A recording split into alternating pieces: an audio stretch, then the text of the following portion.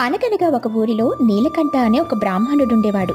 అతను అదే ఊరిలో ఉండే శివుని గుడిలో అర్చకునిగా పనిచేస్తూ ఉంటాడు. ఆ ఊరు పెద్ద పేరేమో రమణ. ఆ ఊరిలోని వాళ్ళందరికీ రమణ ఏం చెప్తే అదే వేదం అదే న్యాయం. అలాగే అదే ఊరిలో రాజు అనే ఒక దొంగ కూడా ఉంటాడు. స్వామి శివయ్య ఎన్నో ఏళ్ళ నుండి నేను నీ సేవ చేసుకుంటూ ఉన్నాను.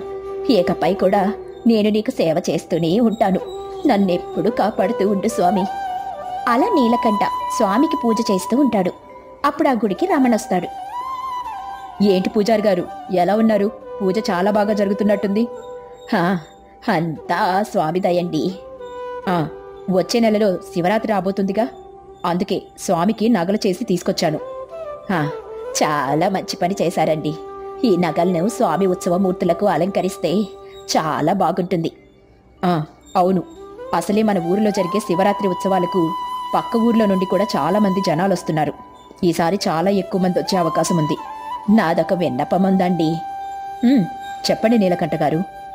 చాలా దూరం నుండి చాలా మంది ప్రజలు వస్తుంటారు. వారికి ఇక్కడే అన్నదానం ఏర్పాటు చేస్తే చాలా బాగుంటుందని నేను అభిప్రాయపడుతున్నాను. ఇది నిజంగా మంచి ఆలోచనే. భక్తులకు మంచి సదుపాయాలు ఏర్పాటు చేయడం ఈ ఊరి పెద్దగా నా బాధ్యత. ఖచ్చితంగా మీరు చెప్పినట్టే చేస్తాను. హా అలాగే. అలాగే మీకు ఒక విషయం కూడా చెప్పాలండి. చెప్పండి. ఏమిటది? నా కూతురికి పెళ్ళిడొచ్చింది. తనకి పెళ్ళి చేయాలని నిర్ణయించుకున్నాను. కాస్త డబ్బు అవసరం అవుతుంది మీరు నాకు కొంత డబ్బు నప్పుగా ఇస్తే నా కూతురికి పెళ్ళి చేసుకుంటాను. అయ్యో అదెంత పని? పొద్దున్నే ఇంటికి రండి. మీకు కావాల్సినంత డబ్బునిస్తాను. అలా రమణ నీలకంఠకి హామీ ఇచ్చి అక్కడి నుండి వెళ్ళిపోతాడు. రమణ గారు ఈ నగల్ని చాలా ఘనంగా చేయించినట్లున్నారు. వీటిని తీసుకెళ్ళి గర్భగుడిలో దాచిపెడతాను. అలా నీలకంఠ నగల్ని గర్భగుడిలో దాచిపెట్టి గుడికి తాళం వేసి ఇంటికెళ్తాడు. ఇదిగో రామా ఇవాళ ఏం జరిగిందో తెలుసా? మీరు చెప్పకనే నాకెలా తెలుస్తుందండి? ఇవాళ మన ఊరి పెద్దయిన రమణ గారు గుడికొచ్చి స్వామికి నగలు సమర్పించారు. అలాగే మన కూతురు పెళ్ళికి కూడా డబ్బును కూడా ఇస్తానని చెప్పారు. అబ్బా చాలా మంచి మాట చెప్పారండి. అంతా ఆశివయ్య దయ. మరుసటి రోజు నీలకంఠ గుడికి వెళ్తే అక్కడ గర్భగుడిలో ఉండాల్సిన స్వామి నగలలో కొన్ని మాయమై ఉంటాయి. అయ్యయ్యో ఏమిటిది? ఇలా జరిగింది? స్వామి నగలలో కొన్ని మాయమై ఉన్నాయే. అయ్యో ఈ విషయాన్ని వెంటనే రమణ గారికి చెప్పాలి. అలా నీలకంఠ ఊరి పెద్దకి సమాచారం అందిస్తాడు. ఇక గుడి వద్దకు చాలా మంది ప్రజలతో పాటు ఊరి పెద్ద కూడా వస్తాడు. ఇదంతా ఎలా జరిగింది? నేను రోజులాగే గుడికొచ్చి తలుపులు తీశాను. ఉండాల్సిన చోట నగలు లేవు. అందుకే మిమ్మల్ని పిలిచాను. ఇదంతా ఏదో మాయలా ఉంది. నాకెందుకో మీపైన అనుమానంగా ఉంది. నేను స్వామికి నగలు సమర్పించినట్టు మీకు తప్ప ఊర్లో ఎవరికీ తెలీదు. అందులోనూ మీరు మీ కూతురు పెళ్ళికి డబ్బు అవసరం అన్నారుగా? మీరే నగల్ని కొట్టేసి ఇలా చేసుంటారు. అయ్యో నేను ఎలాంటి పాపము చెయ్యలేదు. మీ నుంచి నిజాన్ని ఎలా రాబట్టాలో నాకు బాగా తెలుసు. అంటూ రమణ నీలకంఠిని తీసుకెళ్ళి చీకటి గదిలో ఉంచి బాగా కొట్టిస్తాడు. అయినా నిజం చెప్పకపోవడంతో రమణ వదిలేస్తాడు. మరోవైపేమో రాజు అనే ఒక దొంగ ఆ నగల్ని దొంగలించి నగల్ని చూసుకుని మురిసిపోతూ ఉంటాడు. ఈ నగలు ఎంత బాగున్నాయో. వీటిని పట్నంలో అమ్మితే బాగా డబ్బులు వస్తాయి ఇక నేను చేసిన దొంగతనానికి ఆ పూజారి బలయ్యాడు.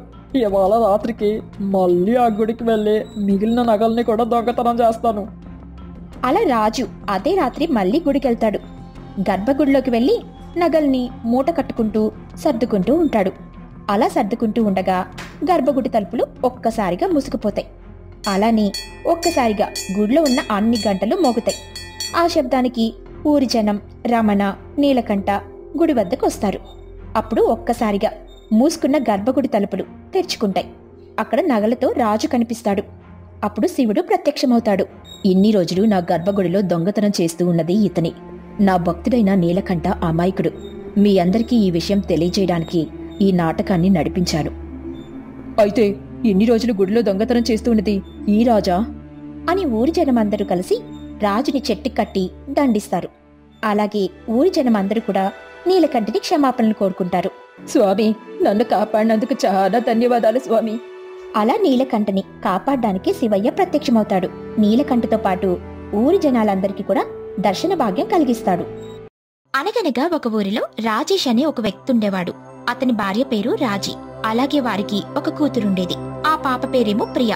ప్రియ అంటే తండ్రికి పంచప్రాణాలు. ప్రియ పేరుపైన ఉన్న ఆస్తి మొత్తాన్ని రాసేస్తాడు రాజేష్. రాజీ రేపు ప్రియ పుట్టినరోజు. మనం గుడికి వెళ్దాం. అలాగేనండి. అలాగే ఎక్కడికైనా బయటికి కూడా వెళ్ళొద్దాం. అలాగే అలాగే. వెళ్ళొద్దాం. నాన్న ఎక్కడికో వెళ్దామని అంటున్నావు? రేపు నీ పుట్టినరోజు కదమ్మా. అందుకే సరదాగా బయటికి వెళ్ళొద్దామని మీ అమ్మతో చెప్తూ ఉన్నాను. సరదాగా బయటికెళ్ళి రావడం అంటే నాకు చాలా ఇష్టం. అలా కుటుంబం మొత్తం సరదాగా బయటకెళ్తూ ఉంటారు. కానీ దురదృష్టవశాత్తు ఒక యాక్సిడెంట్లో రాజేష్ అలాగే రాజీ చనిపోతారు. పాపం ప్రియ అనాథైపోతుంది ప్రియకి ఒక బాబాయ్ ఉండేవాడు. అతని పేరు రమేష్. రమేష్ చాలా మోసగాడు. అలాగే అతనికి ఒక భార్య కూడా ఉండేది. భార్య పేరేమో రాధ. నాన్న నన్ను వదిలిపెట్టి వెళ్ళిపోయావా? ఇక ఇప్పుడు నన్ను ఎవరు చూసుకుంటారు? ఇక నేను అనాథగా మిగిలిపోవాల్సిందేనా? అంటూ కావ్య అమ్మా నాన్నల ఫోటో ముందు కూర్చొని ఏడుస్తూ ఉంటుంది. ఇంతలో రమేష్ అక్కడికొస్తాడు. ప్రియా నువ్వు అనాథవని అస్సలు అనుకోకు. అస్సలు బాధపడకు. నేను నీకున్నాను. నేను నిన్ను బాగా చూసుకుంటాను. "ఉమ్, అలాగే బాబాయ్. ఆ శివయ్య నిన్ను నా కోసం పంపినట్టున్నాడు. అలా రమేష్ ప్రియని తన ఇంటికి తీసుకెళ్తాడు. నీకేం కావాలన్నా మొహమాటం లేకుండా నన్ను అడుగమ్మా. బాబాయ్ నాకొక శివలింగం కావాలి. ఆ శివలింగమా? ఎందుకు? ప్రాణంగా చూసుకునే తల్లిదండ్రులు ఎలాగో లేరు. ఇక నాకు మిగిలింది నాకు ఆ శివయ్య మాత్రమే. నాకున్న బాధ సంతోషం అన్ని ఆ శివయ్యకి చెప్పుకుంటాను. "ఉమ్, ఉమ్, అలాగేనమ్మా. నీకొక మంచి శివలింగాన్ని కొని పంపుతాను. అని అక్కడి నుండి బయటకొస్తాడు రమేష్. ఏంటండి? నీకేమైనా పిచ్చా? మనకెన్నో కష్టాలున్నాయి. ఇప్పుడు మనకి ఈ పాప భారం అవ్వదా? అరే పిచ్చి నాకు కాదే. నీకు నీకే పిచ్చి. ఆ పాప పేరు మీద కోట్లాస్తుంది. ఆ పాపని చంపేసి ఆ ఆస్తిని మన పేరుపై రాయించేసుకుంటే ఇక మన దశ తిరిగినట్టే. అయితే ఆ పాపని బాగా మచ్చిక చేసుకుంటాను. అలా రాధా రమేష్ ప్రియని చంపాలని నిర్ణయించుకుంటారు. ప్రియా నీకు తినడానికి ఏమైనా చేసి పెట్టనా? వద్దు పిన్ని నా కోసం కాకుండా శివయ్య కోసం ఏమైనా ప్రసాదం చేసి పెట్టు. ఆ అలాగేనమ్మా అంటూ రాధ పాయసం చేయడానికని వెళ్తుంది. రమేష్ ఆ పాయసంలో విషం కలుపుతాడు. ప్రియా ఇదిగో అమ్మ పాయసం శివుడికి నైవేద్యం పెట్టి అలాగే నువ్వు కూడా ప్రసాదంగా తీసుకో. అలా ప్రియ శివుని ముందు పాయసాన్ని నైవేద్యంగా పెట్టి పూజ చేస్తుంది. బాబాయ్ ఇదిగో ప్రసాదం తీసుకో. అయ్యయ్యో నాకొద్దమ్మా. అయ్యో ఎందుకు బాబాయ్? నాకు షుగర్ ఉంది. ఓహో అలాగే. సరే పిన్ని నువ్వు తీసుకో. అయ్యయ్యో నాకు అంటే అది. అంటూ తడబడుతూ పాయసాన్ని కింద పడేస్తుంది రాధ. అయ్యయ్యో ప్రసాదం కింద పడిపోయింది. "హ, మరేం పర్వాలేదులేమ్మా.